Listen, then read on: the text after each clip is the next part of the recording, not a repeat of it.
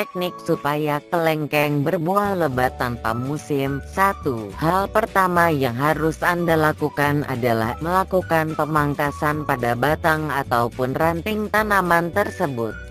Pemangkasan sebaiknya dilakukan pada waktu saat muncul pertama tajuk. Tajuk harus dipotong agar nantinya pohon menjadi rindang, buah banyak dan tidak terlalu tinggi. 2. Tahap kedua, lakukan penyiraman secara benar rutin dan terjadwal, khusus untuk tanaman kelengkeng. Penyiraman dilakukan tiga hari sekali saja, namun saat melakukan penyiraman, sampai air tumpah atau meluber keluar dari pot serta mengalir di bagian bawahnya. 3. Tahap ketiga, lakukan pemupukan dengan dosis tinggi. Pupuk berguna untuk menyuburkan unsur hara dan pohonnya tumbuh dengan baik.